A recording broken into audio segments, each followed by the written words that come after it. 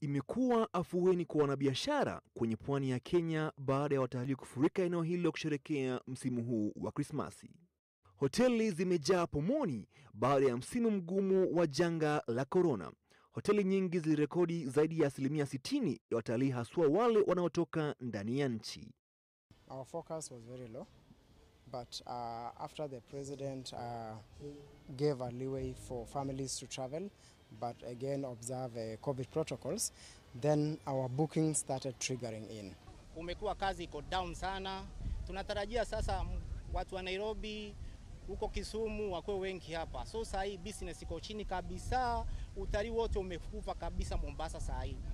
Kama wasemavyo wahenga, mgeni njoo mwenyeji yapone. Eneo la pwani limekuwa limeathirika pakubwa kiuchumi, kwani asilimia kubwa ya mapato yake yanatokana na utalii. Aidha, sherehe hizi za Krismasi na mwaka mpya zimewapa wafanyabiashara wa hoteli matumaini kuwa sekta hiyo itarudisha fahari yake kikamilifu.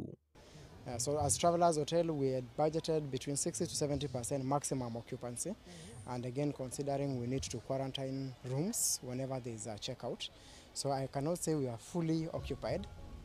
Okay, the rooms that we've dedicated for this period are fully occupied.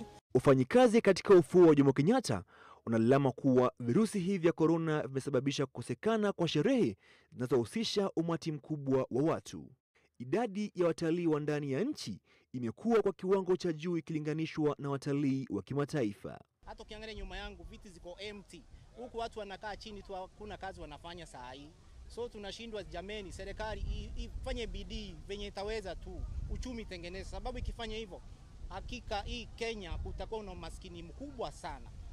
Ingawaji watalii wamerejea katika pwani ya Kenya msimu huu wa Krismasi, idadi ya chini ya watalii imerekodiwa ikilinganishwa na misimu mingine ya Krismasi. Na Mkana Samuel, runinga ya Switch.